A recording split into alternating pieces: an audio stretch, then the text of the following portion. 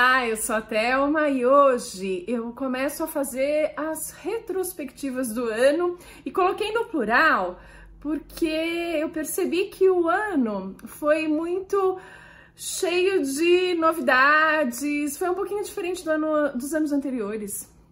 Então tem retrospectiva de filmes e séries que é esse primeiro vídeo, mas também de eventos literários, do lançamento do meu livro. Então tem umas experiências legais que eu quero dividir com vocês. Tem também, em menor proporção, a, o vídeo sobre os livros que eu li, que nessas eu acabei priorizando escrever contos, cuidar do lançamento do meu livro, ir para os eventos literários e acabei lendo menos. Então tem pouquíssimas indicações, eu vou deixar para o final, para um último vídeo. Mas hoje vamos falar dos melhores filmes que eu assisti em 2023. Mas antes, só lembrá-los de se inscreverem aqui no canal, curtirem esse vídeo se vocês gostarem e me seguirem nas redes sociais, porque os conteúdos são diferentes. Aposto que vocês vão gostar. Para organizar os vídeos, eu fiz uma lista de tudo que foi me ocorrendo, revendo os vídeos que eu fiz esse ano. Eu constatei que 11 séries eu assisti e amei e fiz vídeo. Não é à toa que não deu tempo de ler tanto. Eu assisti muito mais séries do que eu costumo assistir. Mas hoje o foco é nos filmes. Então, para começar, vou começar pelo que eu mais gostei que é O Melhor Lance, filme de Giuseppe Tornatore, esse grande autor de Cinema Paradiso, por exemplo. Eu fiz vídeo já aqui no canal, ele tem uma nota alta, é 7.8 se não me engano, no IMDb. E quando eu fiz o vídeo, teve acho que um comentário de uma pessoa dizendo: Ah, achei o plot fraco, logo percebi o rumo que a história ia tomar foi meio previsível. E aí eu penso no Giuseppe Tornatore, uma pessoa que faz Cinema Paradiso e faz também o Melhor Lance. É um cara que se preocupa muito mais com as emoções, com o que as pessoas sentem, com a transformação que acontece nelas, como elas reagem ao mundo. Ele foca mais nas pessoas não tanto no plot twist. Então, por isso que talvez tenha dado essa impressão para é, provocar esse comentário, porque ele não se preocupa de fato com o plot twist.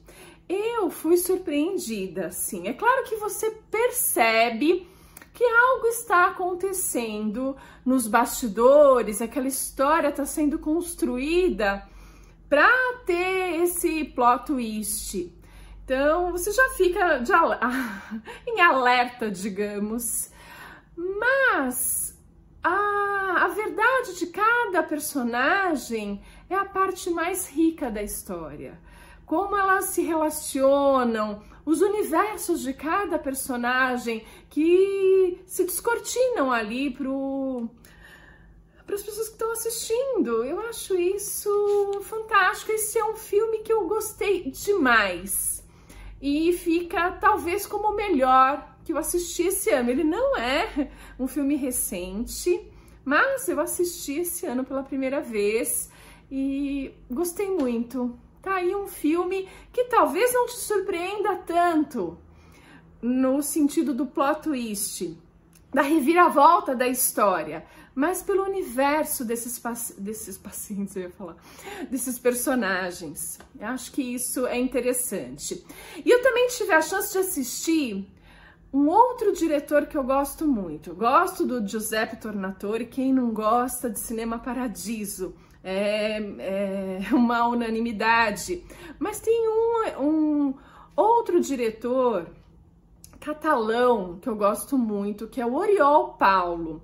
E esse ano eu assisti As Linhas Tortas de Deus, mais um filme dele. Ele não é o filme dele que eu mais gostei. Eu acho que A Tempestade é que eu mais gostei. Mas esse ano foi o que eu assisti de diferente do Oriol Paulo. e tudo vale a pena. Acho que se tiver o nome Oriol Paulo é a mesma coisa. Tem o nome Giuseppe Tornatore, pode assistir. Tem o, no, o nome lá, Oriol Paulo, assista. Filme bem construído, filme surpreendente, um filme que te prende, que te transporta para uma história diferente. Eu gostei muito.